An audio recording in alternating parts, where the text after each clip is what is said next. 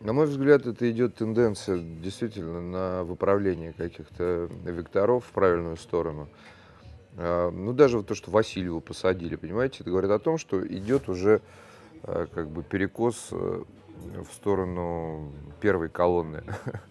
То есть как бы все эти проамериканские ставленники, а раньше ничего нельзя было как бы сделать, потому что у нас вся наша элита, вот эта россионская, россионская вот эта элита наша, в главе там с Собчаками и со всеми вот этими как бы людьми, а, они действительно имеют и имели грандиозный совершенно вес в обществе. И очень тяжело как бы суверенитет приобрести. И вот эти вот маленькие победки, то, что уже раз Васильеву там уже посадили, уже она там обалдела, это говорит о том, что все-таки их начинают немножко поддавливать. И если раньше, допустим, я тоже говорил, ну, ничего нельзя было с этим флиртом сделать, там везде коррупция, а не денег.